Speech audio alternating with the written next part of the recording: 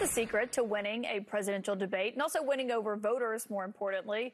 That is obviously something that is all on top of mind for President Biden and former President Trump tonight.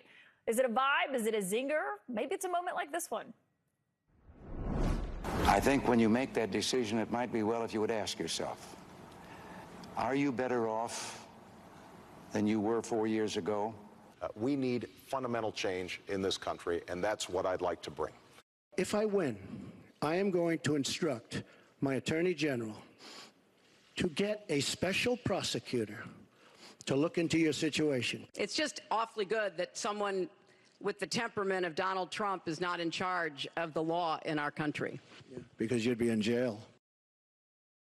Those three moments and many more are the kinds that my next guest has studied and the voters' reactions to them for more than three decades. Longtime pollster and communications strategist Frank Luntz joins me now.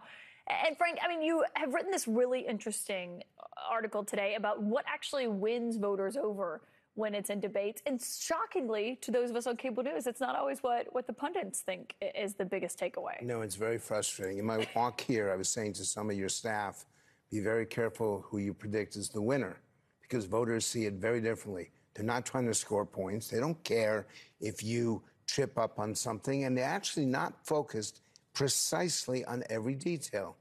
They're looking at the personality, they're looking at the presentation. Do I trust them? Do I like them? Can I see them as president? Is this someone I want to have in my living room every night for the next four years? And in the end, it's the reason why Donald Trump lost that debate with Joe Biden four years ago and why he beat Hillary Clinton. And that line there, all the pundits said, oh my God, we're going to be a banana republic. He says he'd throw her in jail. And every network went nuts on him. Our focus group said, oh my God, he's actually going to hold her accountable. This is exactly what we're looking for in politics. So he was a disaster in 2020 and he was really good in 2016. Well, when you look at those two moments, I'm, I'm sure there were some voters who did not like that moment. This sure. this uh, political opponent clearly saying he'd put his other his opponent in jail uh, because he doesn't like her. Uh, but when you actually look at this, you know, you write in this and say that the key moments that will have the greatest impact on the remaining undecided voters, which is obviously what we're all paying attention to here, are those in which the candidates attack each other in defining ways or undermine the political case that each wants to present to Americans. Viewers will co- quickly decide whether the accusations are fair and the response is effective. I mean, if you are trying to appeal to these independent, undecided voters Thursday night, what does that look like? Otherwise, it's only 4%.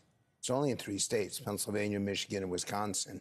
And I'd be asking a rhetorical question, just like Reagan did Is inflation higher or lower today than it was four years ago? Is the border safer or safe? Do you feel more or less secure if I'm Donald Trump? And if I'm Joe Biden, do you really want to go back to that chaos? Do you really want to go back to, and I'm going to do that for three or four times, either ask a question or make a statement where you know the public at home is nodding their heads. The problem is Trump wants to own Joe Biden, and he's got no self control whatsoever. And in Joe Biden's case, he really hasn't figured out how to handle the ex president and he's not made the case for his own reelection as well as he could have. The economy is better than people realize. The situation, the, the, the legislation that he's passed, they don't know this. And you know what? It's not your fault. It's the president's fault. You know, when you're watching uh, a football game and you're there and you can hear the audience, or you're watching it on TV, or you can see the refs and their calls, when you look at this and there's no audience for, for a moment like that, what Trump said about Hillary Clinton, there would have been no reaction to that inside that room if there had been no audience. If there's that, if the mics are being cut off, and maybe we'll still see them talking in the two shots, but not actually hear them, how much of it will make? Huge. It's a big deal. These rules do not help Donald Trump. He was so eager to get Joe Biden into a debate that he said yes to anything. If I'd been advising him, I would have said, don't, not this one. Yes, you want to debate him, but not through these rules. You need an audience. And second, he's so, he has no faith in Biden even being able to complete a sentence. So week after week, he made fun of him. And now he's trying to reverse that. Now he's trying to raise expectations. It doesn't work. If you tell people for months, this guy can't complete a sentence. Yeah, with a week to go, and you're saying, exactly. oh, he's going to be formidable, or, or this year's, you know, he's going to be jacked up on drugs was was 2020's. Oh, he's going to have an earpiece. Both ridiculous uh, accusations. The other thing, though, is these two men are probably the best known politicians in U.S. history. To see them go up to on the stage, everyone knows everything about them. Is there anything really left to to say to change voters' minds? Do you not, think? Not much. 70% of Americans do not want these two people. They're upset that it's Joe Biden versus Donald Trump. In the end, I believe we're going to be voting those final undecided voters, not on the candidate they like, but the, on the candidate they dislike the least. And that's why our democracy is so challenged right now. We're not happy with our choices, so we're trying to vote for the least worst evil. Well, when you put it that way, Frank, just sounds great. I Frank know, Luntz. and, and the most depressing guest you could ever have.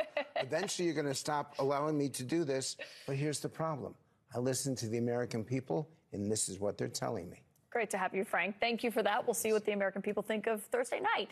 Up next, we have House Speaker Mike Johnson joining us live.